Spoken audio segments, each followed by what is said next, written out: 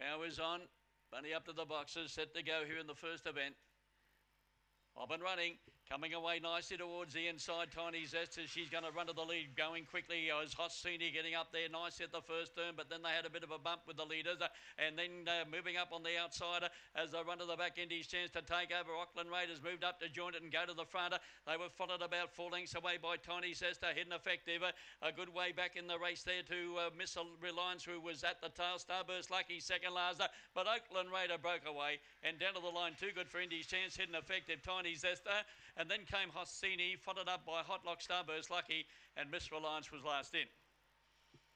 Nice win to the finish, the number five Oakland Raider. They raced a little bit tight in the early part it. There's a little bit of checking going around the first turn, and then Oakland Raider swept up quickly down and out of the straight, took over. And after that, never looked like getting beaten. 499, 1757, run home 1243, and they run 30 dead. Five the winner, Oakland Raider by Oaks Road, Kilmatch Melody uh, by the Nova uh, Castrian Racing Sydney manager uh, Adam Brandon, trained by Bo Headley, defeating three Indies chant, Kinloch Ray, Fully, Chick Mark Davison, one hidden effective Cosmic Rumble, best percentage for Nathan Ould, and number two Tiny Zester in fourth place. Now that winning margin two and three quarters, a quarter between second and third, and that run was 30, 5, 3, 1 and 2. But at the finish, that was a, a pretty strong performance. Now that winner on the uh, approximate dividend of $3.10 and $1.20. Indies chant $2.30.